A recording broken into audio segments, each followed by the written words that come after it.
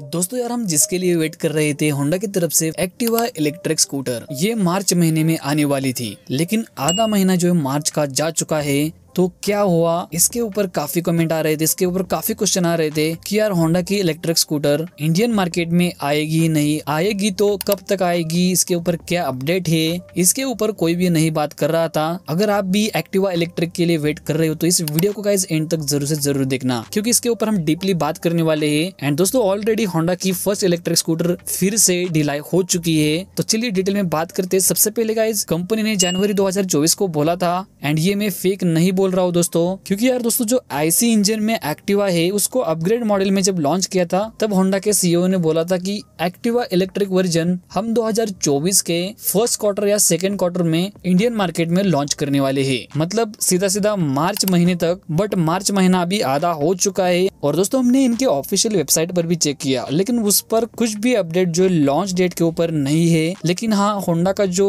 Activa EV आने वाला है, जो कंपनी ने first quarter and second quarter बोला था। उसका मतलब ये है कि जनवरी से लेकर मार्च तक फ़र्स्ट क्वार्टर होता है। अभी तो फ़र्स्ट क्वार्टर में नहीं आने वाली है, लेकिन जो सेकंड क्वार्टर होगा जैसे कि अप्रैल 2024 से लेकर जून 2024 तक इसको आप बोल सकते हो। लेकिन यार इसके ऊपर अपडेट क्या है, ये सबसे पहले हमने देखने की कोशिश की। एक आर्टिकल हमें देखने को मिला बाइक देखो डॉट कॉम पर देखा तो वहाँ पर जून 2024 मतलब सेकंड क्वार्टर में अप्रैल से लेकर जून 2024 तक एक्टिवा ईवी इंडियन मार्केट में देखने को मिलेगी। लेकिन इसके ऊपर हमारे काफ़ी व्यूअर्स बोलेंगे कि यार होंडा जो है इंडियन मार्केट में जल्दी नहीं आने वाला है फेक न्यूज़ है। तो बस देखो यार, सभी ब्रांड अपने इलेक्ट्रिक वर्जन को लेकर आ चुके हैं। तो होंडा जो है कैसे पीछे रह सकता है? हंड्रेड परसेंटली होंडा की इलेक्ट्रिक स्कूटर आएगी ही आएगी, लेकिन इसको थोड़ा सा टाइम लग सकता है। इसके पीछे रीजन काफ़ी सारे रीजन है। जैसे की फ़र्स्ट तो होंडा जो है ट्रस्टेड कंपनी है, कोई भी छोटी मोटी कंपनी नहीं है तो ये कहाँ पर भी कॉम्प्रोमाइज नहीं करने वाली है। टाइम थोड़ा सा लग सकता है, लेकिन जो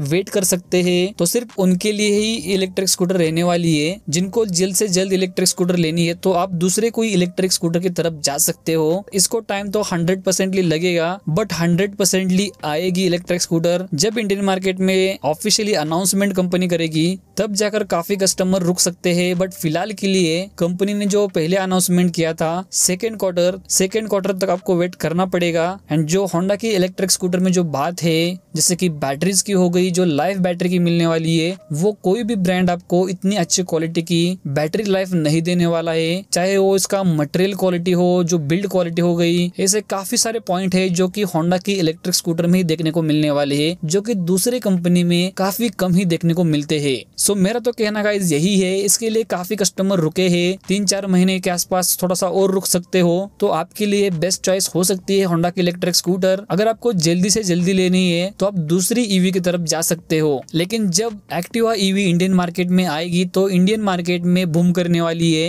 काफ़ी ब्रांड को टक्कर दे सकती है। बट आएगी तो ये कंफर्म है, उसके लिए आपको और थोड़ा सा वेट करना पड़ेगा। तो यार दोस्तों, आपको क्या लगता है होंडा की इलेक्ट्रिक स्कूटर से रिलेटेड कुछ भी सवाल हो, कुछ भी क्वेश्चन हो तो आप कमेंट सेक्शन में आकर कमेंट कर सकते हो। मेरा तो सजेशन यही है कि यार आपको थोड़ा रुकना चाहिए, अगर आपको क्वालिटी ईवी लेनी है तो। तो चलिए यार दोस्तों, ये तो कुछ आज का वीडियो आई होप जो कि आपके कंफ्यूजन थे, वो हमने क्लियरली कंफ्यूजन जो है दूर करने की कोशिश की है। तो चलिए यार, मिलते हैं अभी नेक्स्ट वीडियो में।